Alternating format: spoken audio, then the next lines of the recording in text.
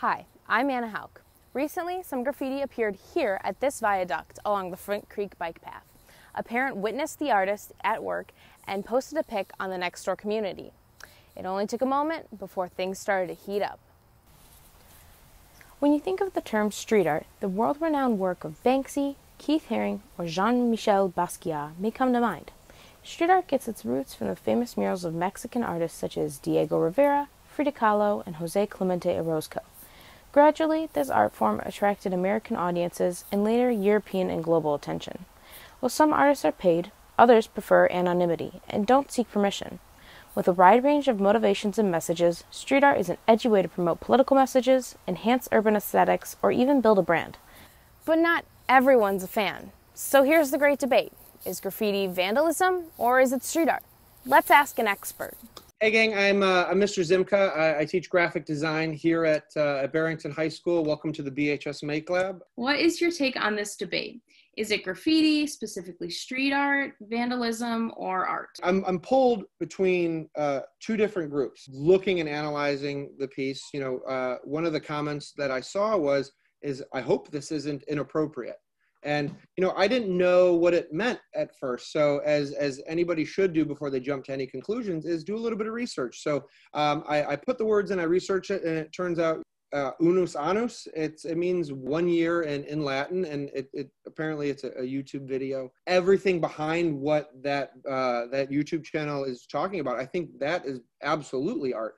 It uh, you know they're talking one year to go before it uh, before you know it never it ceases to exist. So it's, it's no longer there. There's something there's something beautiful about that. There's symbolism um, in in the uh, the way they go about doing things. Um, as far as this this piece of graffiti uh, goes you know it it has its it has its uh there's meaning behind the the logo and the the hourglass and the text so it takes a little bit of work to be able to create something like that vandalism is such a, a, a, touchy topic where if you're destroying property and you know that that that's a no-no you know graffiti and vandalism and tagging of that sorts I, I don't appreciate but but but street art and people actually you know using their craft for uh, for good or I uh, I think it could continue the debate on whether it's art. So what kind of role do you think graffiti plays in our culture and our community? As you can see I'm I'm a fan of cool things and you know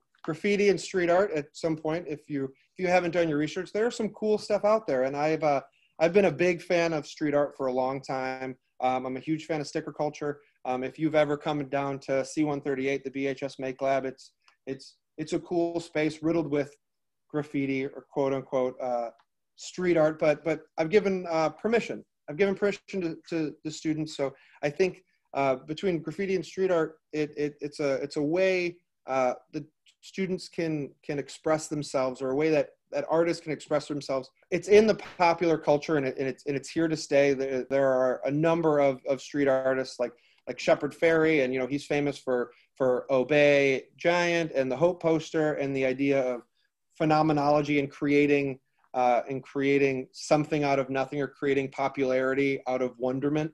Street art is just going to get bigger and bigger and bigger.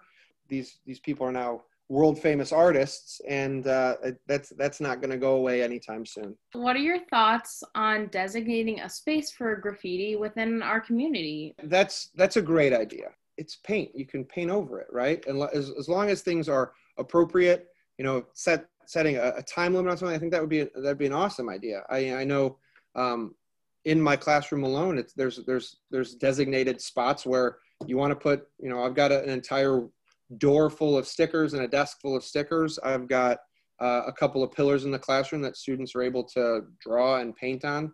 Um, you know, because as long as it's appropriate, you know, why not?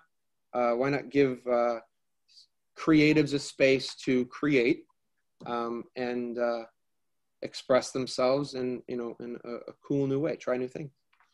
So, where do you stand on this great debate? Vandalism or street art? Let us know at greatdebate238 at gmail.com. Reporting for BHS TV, I'm Anna Hauk. See you next time.